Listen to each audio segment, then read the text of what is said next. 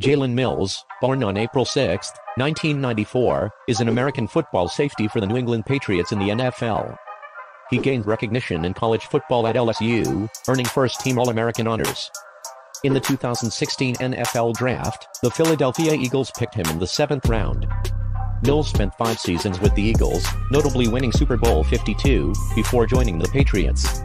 Starting as a cornerback, he transitioned to safety and had a notable 2021 season with the Patriots, primarily playing as the number two cornerback. In the 2022 season, he continued to make contributions with interceptions and tackles. Mills was briefly released by the Patriots in 2023 but was re-signed soon after. Off the field, he has faced legal issues but remains a significant player, known as the Green Goblin for his distinctive green hair.